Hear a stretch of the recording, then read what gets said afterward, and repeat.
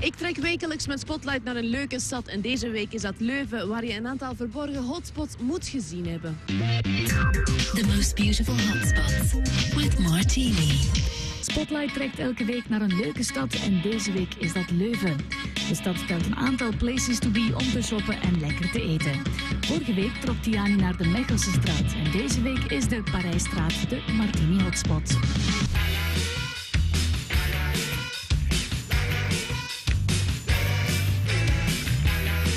Ik ben echt helemaal weg van vintage en daarom is Hippo in Leuven the place to be voor vintage en retro geïnspireerde spulletjes.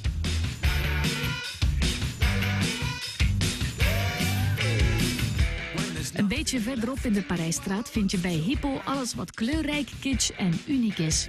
Hier verkopen ze niet alleen coole 60s dresses met alle mogelijke prints, maar ook coole objecten. De Bambi's, bloemenparaplu's, haarspelden en kettingen met oma's portret zijn in deze shop voltallig aanwezig.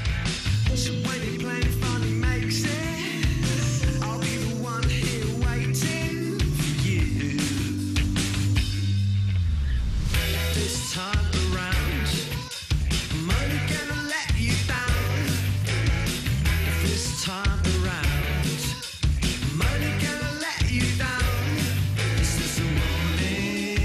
Ben je niet helemaal tevreden met hoe je garderobe er op dit moment uitziet?